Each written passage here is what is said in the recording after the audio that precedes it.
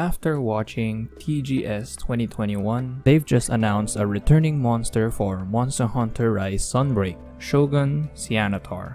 I personally like Crab Boy right here, even if he pisses me off, literally. But what's in it for us hunters after seeing Shogun Ceanataur in the trailer? As we all know, once we enter Master Rank, our high rank armor becomes obsolete. I've compiled 4 armors right here, and the defense stats is below 400, except for Valstrax, but that's a different story. I'm thinking, there's a possibility that they could add him in either Master Rank 1 or Master Rank 2, something similar to Generations Ultimate. If that's the case, I think this is good. We are left with two options right here.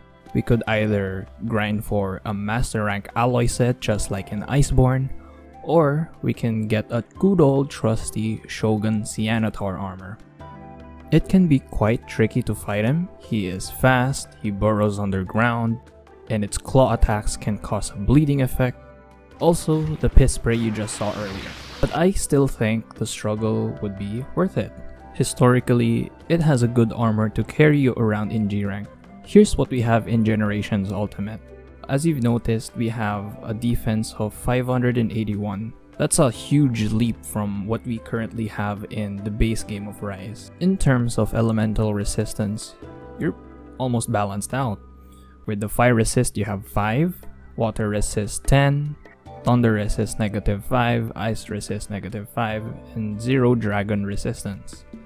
So I think this is a fair game in terms of like starting out in G rank so you don't get destroyed right away. Again, this is what we have in Generations Ultimate and it could also happen in Monster Hunter Rise Sunbreak.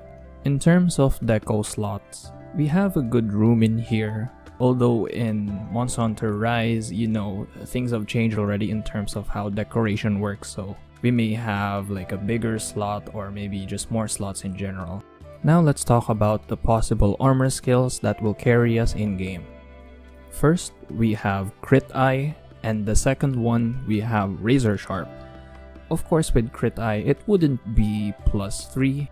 I'm assuming that would be maybe like 4 or 5. So there will be some changes in there. Razor Sharp is a good bonus, especially if you're using weapons that shed so much sharpness. Next we have skills that have a slight chance of getting added into the armor set. We have Handicraft. This skill was given to the GX version of his armor in GU, and Speed Sharpening. Lastly, we have a skill that's less likely to be added, which is Attack Bonus. The armor in Freedom Unite had this skill, but then again, it's less likely to happen. In terms of the weapons, Shogun Ceanataur weapons are decent, they have long sharpness, but we might have other options early on in G rank. I think it's great to know that we have Shogun Ceanataur in-game. We might see his Apex version pretty soon, which opens more possible returning monsters in-game such as Gravios and Glavenus. So far, these are my assumptions as Capcom revealed Shogun Ceanataur. Let me know your thoughts. I'm quite curious, do you like these analysis type of videos? If so, I do plan on making more in the future, so consider subscribing if you want to see more.